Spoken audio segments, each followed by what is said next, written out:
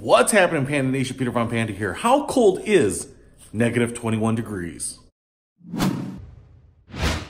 Well, it must be pretty cold because, uh, first of all, my phone just shut off here and I had to put it in my special place to warm it back up. But I'm standing out here. It's negative 21 degrees actual. They say it's like negative 40 or negative 50 with the wind chill um, pretty cold. You can definitely feel on your face. And now that I've been out here for a few minutes, it's starting to get a little uncomfortable. But I wanted to show you something uh, that was interesting here. So here behind me is my garage. And as you know, my garage is heated. And I also run a whole house humidifier. So there's a decent amount of humidity in the house too.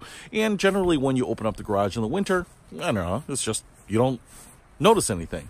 But uh, it's the weather like today where I think you're going to see basically uh, the air in the garage uh, get instantly turned into steam as kind of that high humidity air hits the cold air. So let's open up the garage here and see what it's like.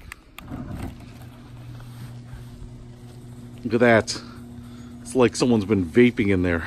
I literally ran in there to grab the uh, remote just a moment ago and it just felt fine and comfortable. And I'm not even leaving the house. I just wanted to show you here what it is like. I mean, basically, it's just like you breathing out in the cold air, but man, I have never seen it. Holy smokes, I've never seen it get like this. Uh, I don't know what you call it, smoky. The water vapor just condensed like this. I mean, it just, it's massive, and it's just because it is freaking cold out here. Kind of crazy.